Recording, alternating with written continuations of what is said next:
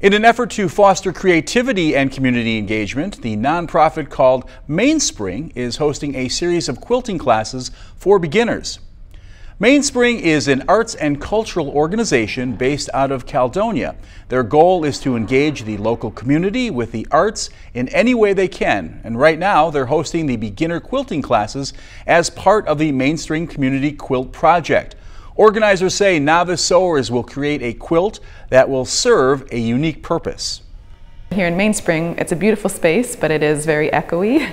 And so we've been told that sound absorption panels would help. And I thought, why not make them artful? And then, yeah, they'll function as the sound absorption panels in the main hall there.